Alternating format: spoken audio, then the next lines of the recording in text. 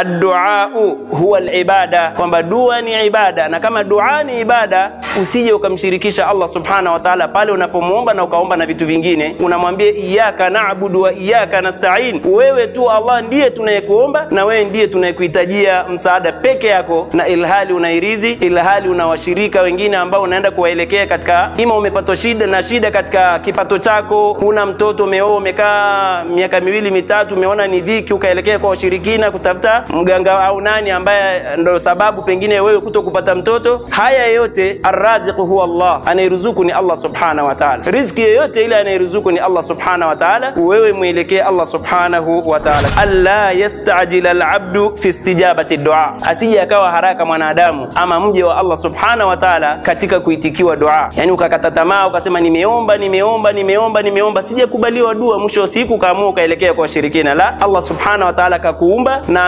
anakufahamu fika. Ni wangapi ambao walikuwa wakiswali pamoja nasi misikitini? Wakati mwingine anaweza akaswali, anaswali swafu ya kwanza, adhana inapigwa yuko msikitini, lakini pale anapofunguliwa na Allah subhanahu wa ta'ala, huenda ikawa ni sababu pia yeye kuhama msikiti. Fa inna Allah subhanahu wa ta'ala a'lamu bimasalihi alibad, kwani Allah subhanahu wa ta'ala yeye ni mjuzi zaidi wa kufahamu maslahi ya nani, ya mja wake.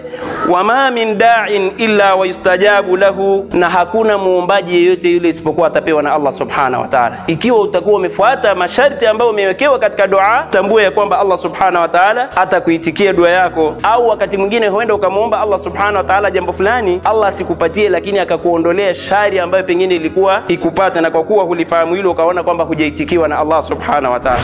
Au yudakhara lahu fil akhirah, au wakati mwingine huenda ikarumbikizwa kile ulichomwomba Allah subhanahu wa ta'ala asikupatie duniani, akaja akakupatia akhira. Sasa sidhani kama inaweza katokea mtu huko akhira na wewe ulimuomba Allah subhanahu wa ta'ala, ulihitajia upewe hapa duniani, halafu ukasimama mbele ya Allah subhanahu wa ta'ala ukasema, ya Rabbi, kwa nini usingenipa huko duniani? Na ilhali ukiwa mbele ya kisimamo cha Allah subhanahu wa ta'ala, wewe unahitajia mithqala dharra, yani mfano wa dharra, na dharra ni kitu ambacho ni kidogo mno, kijazilizie mizani yako ingie peponi, halafu eti udai kwamba ya Rabbi, kwa nini hujanipatia hicho nilichokihitajia huko nilipokuwa duniani?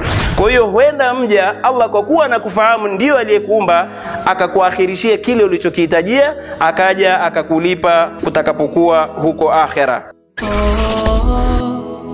Mahasin TV, pata kujua wema wa Uislamu.